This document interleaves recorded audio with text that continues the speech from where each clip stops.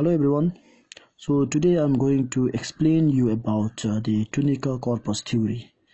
So this tunica corpus theory is another theory which is trying to explain the organization of the cells in the shoot apex how the cells are arranged in the shoot apex.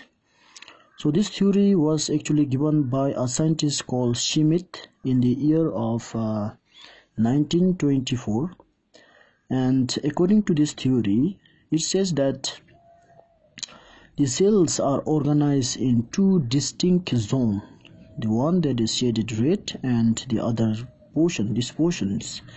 So these cells which is which is made up of one to two layers of cell you can see here one to two layer here i've given two layers of cells. So this one to two layers of cell they will be dividing and they will be producing a epidermis. So this cells we call it as a tunica. So this red region we call it as a tunica. And the remaining cells we call it as corpus. They are arranged or they are called as corpus. So these corpus cells they will be dividing and they will produce two kinds of cell. There is the procambium and ground meristem so now this procambium they will further divide redivide and they will produce three types of cell. That is the primary cell primary xylem primary phloem and interfascicular cambium.